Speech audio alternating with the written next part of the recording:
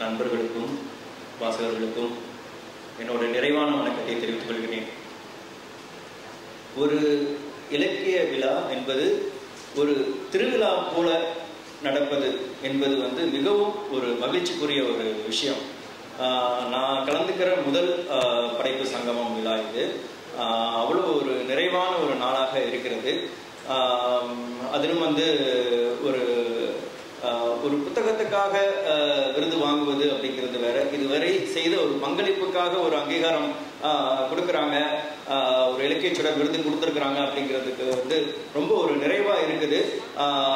பொதுவாகவே வந்து புனைவு சார்ந்த விஷயங்களுக்கு நம்ம இதில் நிறைய விருதுகள் இருக்குது ஆனால் ஆப் புனைவு சார் நான் ஃபிக்ஷன் மட்டுமே எழுதிட்டு இருக்கிற எழுத்தாளர்களையும் அங்கீகரித்து அவங்களுக்கு ஒரு கௌரவத்துக்குரிய மதிப்பிற்குரிய ஒரு விருது கொடுக்குறாங்க. ஸோ அதனால் ரொம்ப மகிழ்ச்சி. படைப்பு குழுமத்துக்கு என்னோட ஒரு சிறந்தாழ்ந்த நன்றிகளையும் வணக்கங்களையும் தெரிவித்துக் கொள்கிறேன்.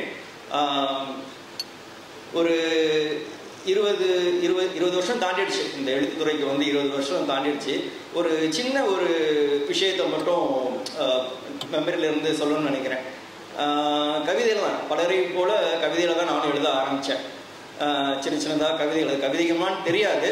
இருந்தாலும் பல கவிதை புத்தகங்களை ப படித்து அந்த இன்ஸ்பிரேஷனில் ஏதாவது ஒன்று எழுத ஆரம்பிக்கிறோம்னு சொல்லி அப்படி எழுத ஆரம்பித்தது தான் கல்லூரி காலத்தில் நிறைய கவிதைகள் டைரி முழுக்க சேர்ந்த உடனே அது எப்படியாவது புத்தகமாக போடணுங்கிறது ஒரு கனவு. பலருக்கும் இருந்த கனவு. எனக்கு அப்பா சப்போர்ட் பண்ணாங்க. நீ சொந்தமாக ஆனால் பப்ளிஷ் பண்ணுறதுலாம் பெரிய விஷயம். அப்போ இப்போ ரொம்ப ஒரு எளிமையான விஷயம். ஆனால் அப்போ ரொம்ப ஒரு இரண்டாயிரங்களில் அது ரொம்ப ஒரு கஷ்டமான விஷயம். நான் சப்போர்ட் பண்ணுறேன் நீ கண்டிப்பாக அது பண்ணு அப்படின்னு சொன்னாங்க. ஸோ அப்போ வந்து அந்த புத்தகத்துக்கு என் மனசில் தோன்றின தலைப்பு வந்து ஆ. அந்த கவிதை தொகுப்புக்கு வந்து ஆன்னு ஒரு கவிதை தொகுப்பு தான் வெளியிடுறதா இருந்தேன். அப்போ அமரர் சுஜாதா அவர்கள் வந்து அவரோட நாவல் வந்து ஆ அப்படின்னு தலைப்பில் எழுதியிருந்தாங்க. அதனால வந்து ஒரு மரியாதைக்காக எழுத்தாளர் சுஜாதா அவர்களுக்கு அவங்களோட மெயில் ஐடியை தேடி அவங்க யாக ஐடி ஏதோ வச்சுருந்தாங்கன்னு நினைக்கிறேன். அந்த யாப் ஐடிக்கு வந்து ஒரு மெயில் மட்டும் அனுப்பினேன்.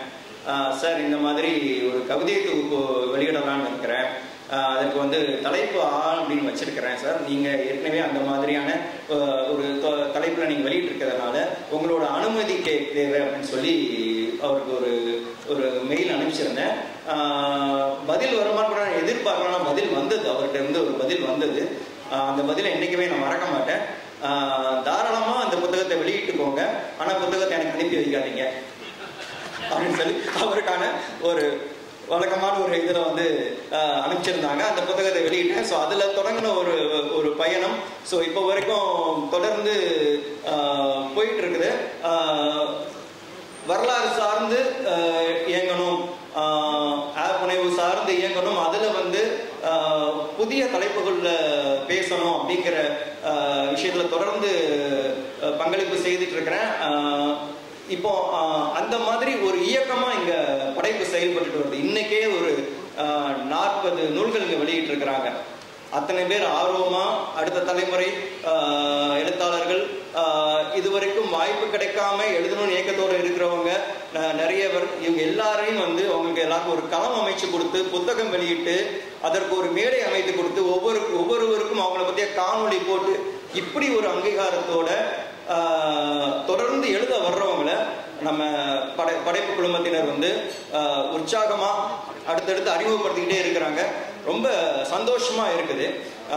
இந்த இடத்துல ஒரே ஒரு விஷயம் மட்டும் சொல்ல விரும்புகிறேன் என்னன்னா இப்போ வந்து இது ஏஐ காலம்.